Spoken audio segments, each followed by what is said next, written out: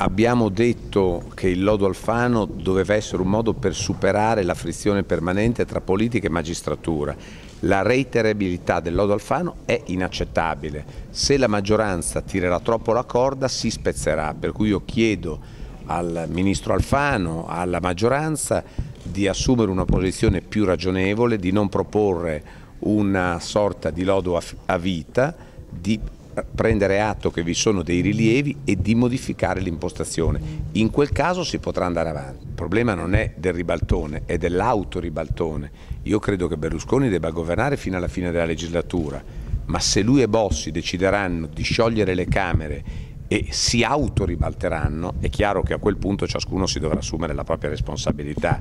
Eh, qui si sta parlando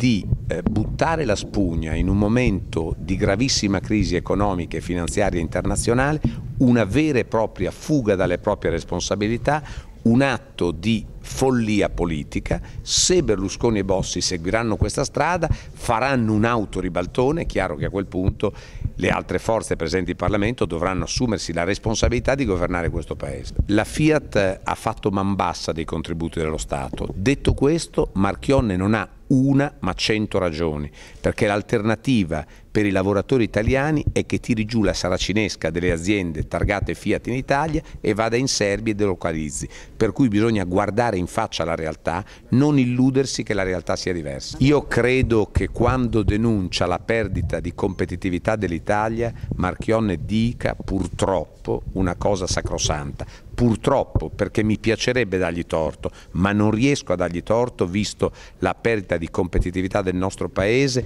e la grande angoscia in cui versano i giovani migliori del nostro Paese che spesso sono costretti ad andare all'est. Ehm, abbiamo fatto un buon lavoro in questo primo mese, penso che anche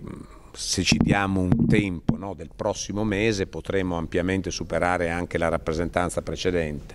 per cui tutto va per il meglio eh, noi lavoriamo, però qui i problemi veri sono, sono quelli della Sicilia, sono le questioni programmatiche, politiche a cui corrispondere, questa è la questione vera, non è il gruppo all'ARS dell'UDC o di un altro partito, bisognerebbe cercare un po' di guardare le cose per la loro essenza, i siciliani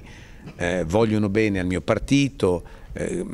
devo dire però che il problema non è eh, la contabilità sui nostri consiglieri regionali che come dico è ampiamente positiva lo sarà sempre di più. Il problema è corrispondere al bisogno di governo che c'è. Ogni governo, ogni realtà ha la sua specificità, per cui non si tratta di fare prove generali di nulla. Mm, eh, noi diamo un giudizio positivo di questi passi della Giunta anche della composizione delle persone che ci sono, lavoriamo per aiutare credendo però che la stagione delle polemiche anche in Sicilia è finita, per cui anche quei partiti che stanno all'opposizione e che non hanno condiviso il, eh, la giunta di Lombardo, io penso che farebbero bene a dare una mano ad aiutare la Sicilia ad andare avanti e anche il governo lombardo, perché Lombardo è stato scelto dagli elettori, non da me. Sì, evidentemente c'è chi ha ritenuto di doversene andare via davanti ad un presidente che come Berlusconi è stato eletto dai siciliani. Berlusconi è stato eletto dagli italiani, lui dai siciliani.